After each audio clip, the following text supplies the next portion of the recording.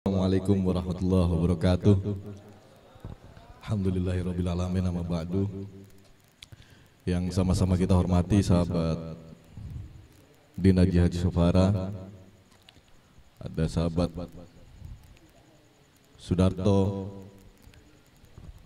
Abang kita semua Bang Aam Khairul Amri yang insya Allah segera dilantik menjadi anggota DPR RI.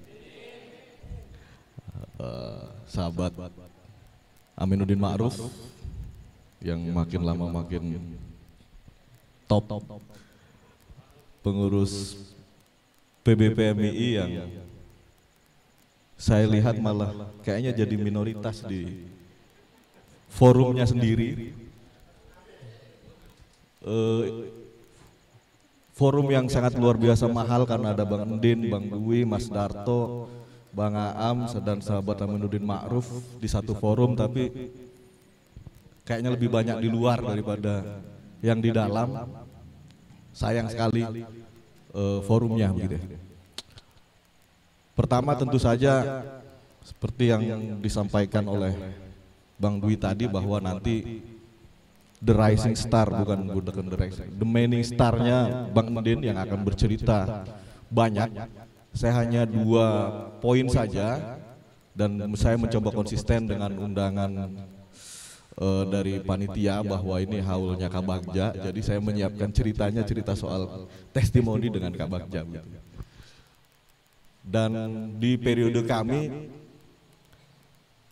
saya secara personal merasa beruntung karena masih merasakan sentuhan perhatian senior almarhum Kiai Haji Ahmad Bagja yang saya merasa secara personal merasa sangat dekat dengan beliau gitu.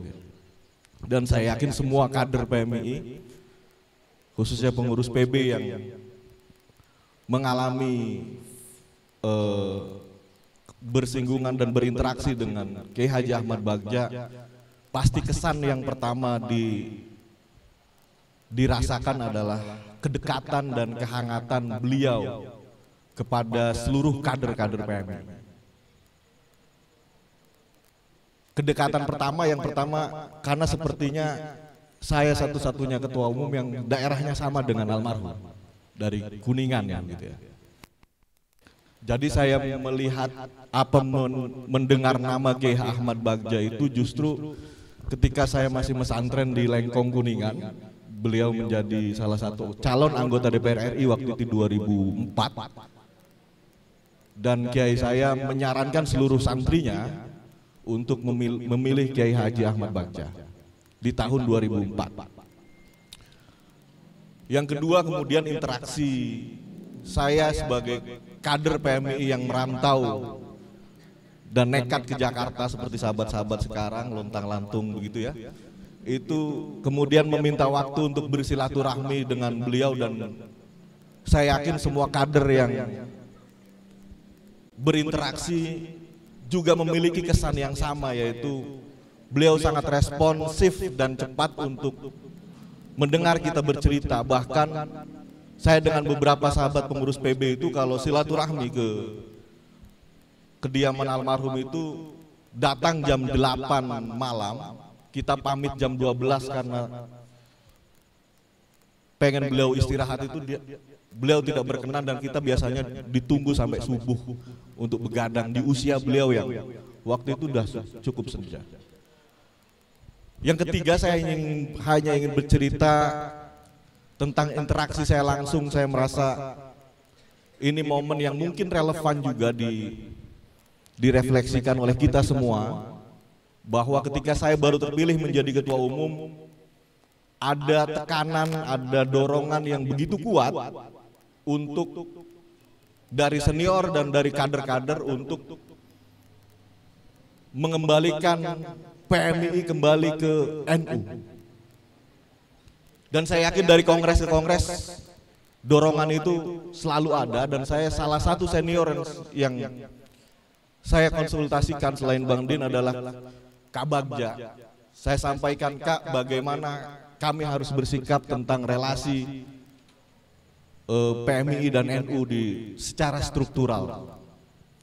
Kabagja sampaikan kalau ada senior-senior PMI atau siapa pun yang meminta PMI kembali ke NU suruh lapor ke saya. Begitu kira-kira. Suruh berhadapan dengan saya. Dan satu tema itu kemudian ada satu sesi. ketika saya diundang sebagai ketua umum di Yogyakarta untuk berdiskusi dengan seluruh senior-senior PMI di Jogja dan kader-kader PMI di Jogja di Umah Jogja waktu itu saya masih ingat betul. dengan tema yang sama bagaimana relasi PMI dan NU diposisikan dalam situasi pasca kongres di Palu gitu ya. Karena saya lihat di undangan Kabagja juga diundang, saya minta konfirmasi, saya nanya, Kak, Kabagja datang nggak? Insya Allah datang. Terus bagaimana ini Kak? Almarhum menyampaikan bahwa begini, jadi nanti ente konsisten saja dengan apa yang menjadi pandangan PBPMI bahwa kalau PBPMI pengen tetap independen dia sampaikan saja tetap independen. Nanti saya bantu di forum dan saya akan sikat semua senior-senior itu yang mau mengembalikan PMI ke NU. Karena merasa dibekali dan disupport oleh senior, di forum itu saya menyampaikan dengan begitu luar biasa mengkritik semua senior-senior yang hadir itu karena merasa di backup oleh Kabagja. Jadi saya percaya diri bahwa PMI tetap harus independen. Gitu.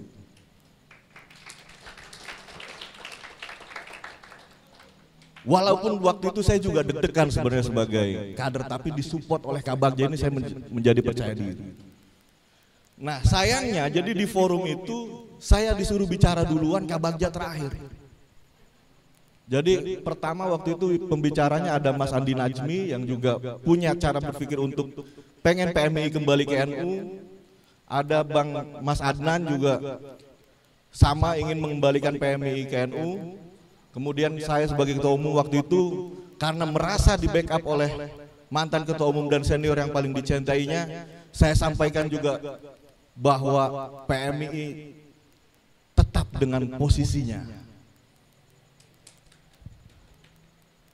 dan berharap di forum itu disupport kemudian oleh Kabagja begitu.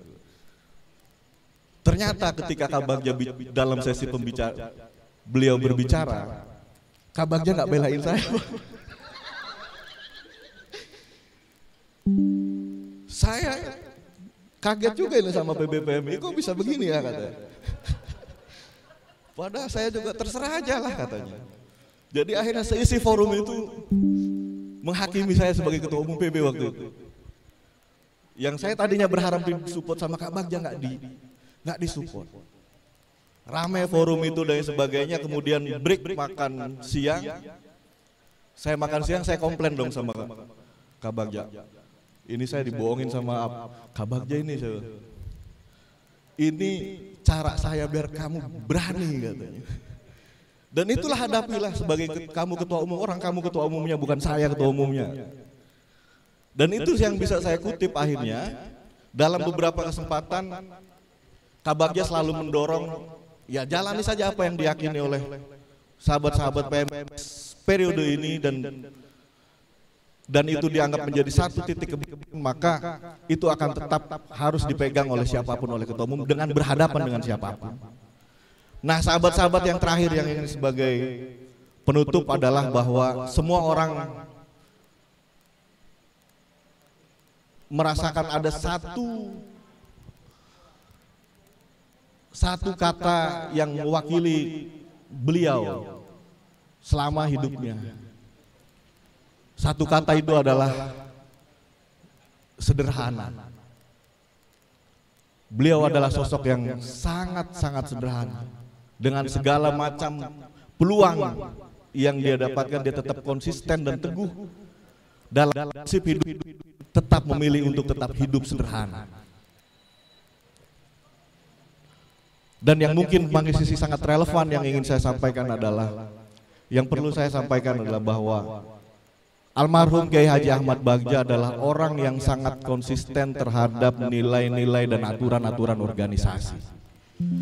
Sebagai sekjen PBNU pada waktu itu, beliaulah yang menyusun dan merumuskan tata cara administrasi surat menyurat yang sekarang hingga saat ini digunakan.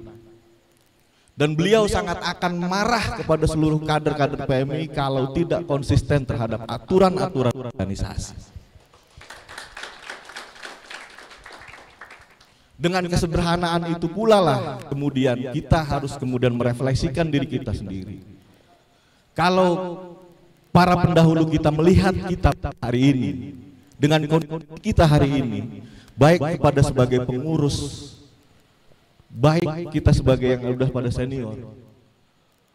beliau-beliau itu apakah merasa senang atau bangga?